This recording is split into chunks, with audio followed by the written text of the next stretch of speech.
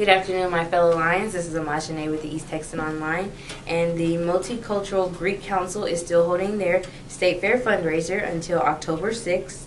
The homecoming royalty applications close on October 6th at 5 p.m.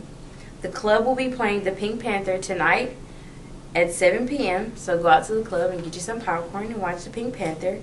Chris McGinty will be having euphonium recital in the Finney Concert Hall in the Music Building from 7:30 to 8:30.